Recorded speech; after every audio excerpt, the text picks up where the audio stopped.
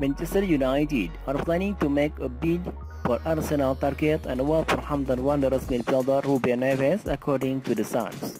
The British tabloid have reported that new, the new Manchester United manager Erik ten Hag is a big fan of Ruben Neves, which value at 50 million pounds by his club Wolves. The Portugal international is Ten Hag number one target to bolster the midfield, according to the report which has added that United plan to make an approach in the next two weeks.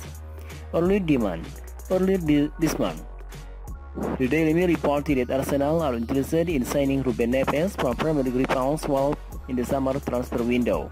In our view, Wolverhampton Wanderers midfielder Ruben Neves would find it difficult to choice between Arsenal and Manchester United. If both clubs make a offer for him.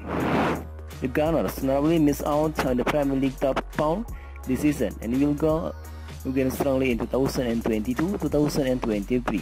Arsenal manager Mikel Arteta has a very dynamic and young squad, and Neves would fit in perfectly at the Gunners. However, Manchester United are venturing on a rebuild, and the 25-year-old can play a big role in 10 teams and can be tempted to move to the biggest club in England.